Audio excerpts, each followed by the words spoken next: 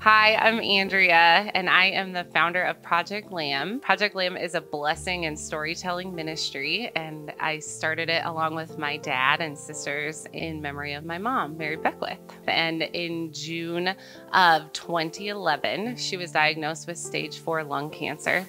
Uh, my mom was always extremely vibrant and full of life. She loved Jesus and she loved sharing her faith with people. It kind of shook my family when she was diagnosed because it was such a quick and rapid disease that was just taking over everything. And um, it kind of came without warning and without reason.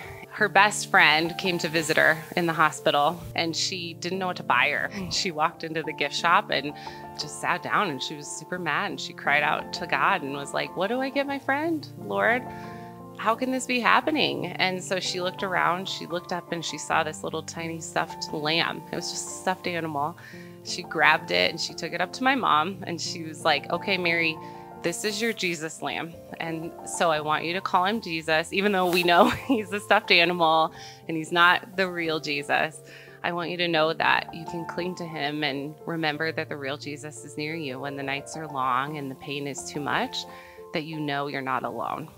And so my mom, being who she was, took that little lamb with her everywhere she went for the whole six months. Uh, but she actually used it as a tool to share her love of God and for people. It really helped her open up doors and talk to nurses and other people in the hospital room.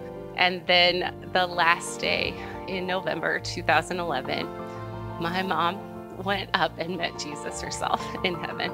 And right after she passed away, it had been stirring in my heart that this little lamb was such an easy way to share love, to share faith, to meet people right where they're at. It's gentle, it's simple.